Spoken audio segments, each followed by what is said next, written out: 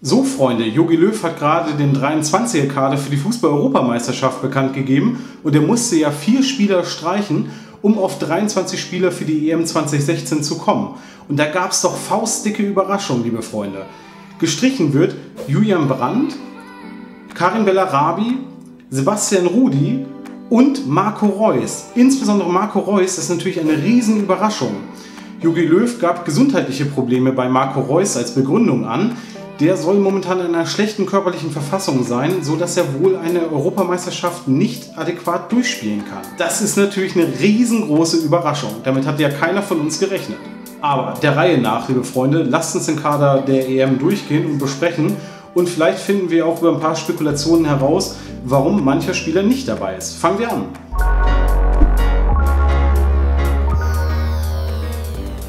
Ja, im Tor gab es natürlich keine Überraschung. Da sind weiterhin Manuel Neuer mit dabei, Bernd Leno und Marc-André Terstegen. Marc-André Terstegen und Bernd Leno konnten sich in der Regenschlacht gegen die Slowakei allerdings nicht sonderlich auszeichnen. Es war aber auch nicht damit zu rechnen, dass Jogi Löw hier eine Veränderung vornehmen wird. Also von daher Haken dran, Manuel Neuer ist die Nummer 1. So, in der Abwehr hat Jogi Löw, na klar, Jerome Boateng nominiert, Mats Hummels, Emre Can, Jonas Hector, Benedikt Hövedes, Skodra Mustafi und Antonio Rüdiger. Nicht geschafft hat es Sebastian Rudi. Das ist für mich auch eine kleine Überraschung.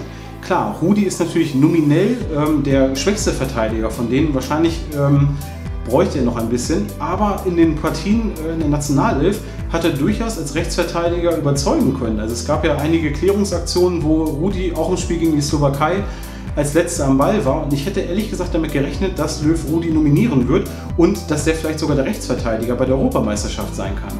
Stattdessen ist diese Position natürlich wieder offen und wir werden sehen, ob das eventuell durch Benedikt Hövedes äh, ausgeführt wird, durch Emre Can oder durch einen ganz anderen Kandidaten. Wir bleiben gespannt. Im Mittelfeld hat Jogi Löw Julian Draxler nominiert, Sami Khedira, Joshua Kimmich, Toni Kroos, Thomas Müller, Mesut Özil, Lukas Podolski ist auch wieder dabei, André Schürle, Bastian Schweinsteiger und Julian Weigel. Hier sind im Endeffekt alle Jungspunde mit dabei, also Julian Weigel ist dabei und Joshua Kimmich auch. Da hatte man überlegt, ob die vielleicht gestrichen werden. Nein, das ist nicht der Fall. Joshua Kimmich und Julian äh, Weigel sind weiter in der Verlosung und werden an der Europameisterschaft teilnehmen. Herzlichen Glückwunsch dafür. Nicht dabei sind allerdings Karim Bellarabi, das ist natürlich auch eine Überraschung. Er wurde häufiger eingewechselt äh, bei der DFB 11 und er hat oft auf der rechten Seite für Belebung gesorgt. Scheinbar sagt Jürgen Löw sich, er ist so gut auf dieser Position besetzt, dass er Karim Bellarabi momentan nicht für eine Europameisterschaft benötigt. Und der allergrößte Knaller ist natürlich, Marco Reus wurde nicht nominiert. Da führte der Bundestrainer ja gesundheitliche Gründe an, dass es ihm aktuell sehr schlecht geht und in einer schlechten körperlichen Verfassung sei und eine Europameisterschaft bei den Bedingungen wohl nicht durchstehen kann.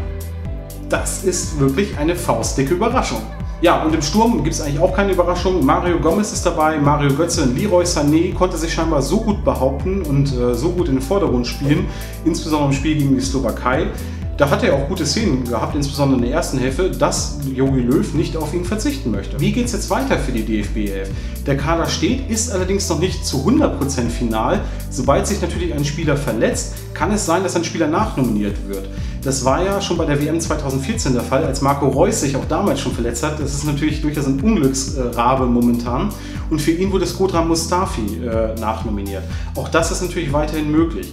Aber wir gehen erstmal mit diesem 23er Kader scheinbar in die Europameisterschaft rein. Am 4.6. steht das nächste Testspiel an und zwar gegen Ungarn und da wird Jogi Löw sicherlich weniger experimentieren und versuchen schon eine Stammformation zu finden. Und am 12.06. geht es dann los mit dem ersten Gruppenspiel gegen die Ukraine. Das wird natürlich auch eine spannende Geschichte. Die Ukraine ist sehr defensiv und da bin ich auch sehr gespannt, wie wir auflaufen werden. Ich habe euch einmal zwei Videos eingeblendet. Ihr könnt bei mir nochmal die Analyse des polnischen Kaders sehen oder beim EM-Quiz mitmachen, welche Nationalmannschaft wird hier gesucht. Ich würde mich freuen, wenn ihr meinen Kanal abonniert und dem Video einen Daumen nach oben gebt, dann verpasst ihr auch keine weiteren Videos. Leute, was denkt ihr zum EM-Kader? Lasst es mich in den Kommentaren wissen. Sind wir damit gut aufgestellt, um ins Finale zu kommen? Leute, bleibt am Ball, macht's gut, euer Sören, ciao!